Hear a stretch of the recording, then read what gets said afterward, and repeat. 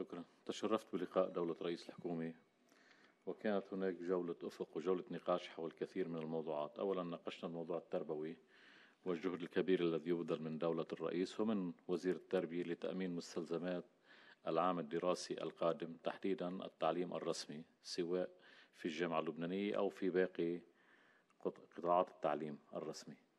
آه، واضح أنه كما يقول رئيس الجامعة اللبنانية وكما يقول وزير التربية بأن هناك حاجات أساسية يجب تأمينها دولة رئيس مجلس وزراء يعمل على هذا الأمر. طبعا الأمر الآخر اللي حكينا فيه جميعنا نعرف أن الحل الأنسب هو انتخاب رئيس جديد للجمهورية. وهذا الرئيس الذي مع الحكومة التي ستلي انتخابه ممكن أن يضع برنامج للإنقاذ الاقتصادي والاجتماعي. ولكن إلى ذلك الحين ونأمل أن توفق المبادرة الفرنسية بدعم من الدول الأخرى في الوصول إلى نتيجة في ما دعي إليه من مشاورات أو لقاءات أو حوار في شهر أيلول القادم.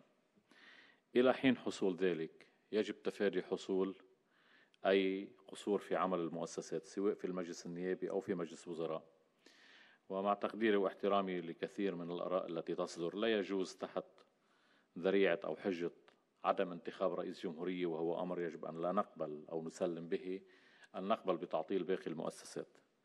الأمر الآخر رأينا الأحداث الأمنية التي جرت في اليومين الماضيين أو في الأسبوعين الماضيين تحديدا ما حصل في الكحالي ندعو إلى أمرين الأمر الأول عدم التعرض للجيش وعدم الطعن بالجيش.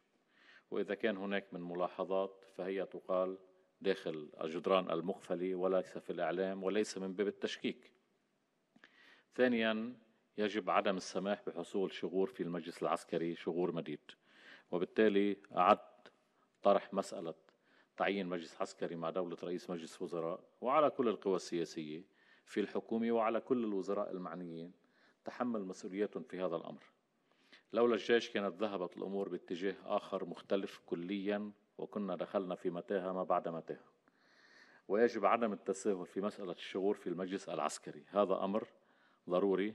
هذا أمر مصيري يجب التعاطي معه بجدية كما قلت من قبل الحكومة من قبل الوزراء المعنيين ولكن من قبل كل القوى السياسية المكونة للحكومة. ليس على قاعدة مرادات هذا الفريق أو ذاك لا نحن ولا غيرنا ولكن على قاعدة وجود مجلس عسكري يقوم بواجباته في مؤسسة أساسية هي مؤسسة الجيش اللبناني. شكرا.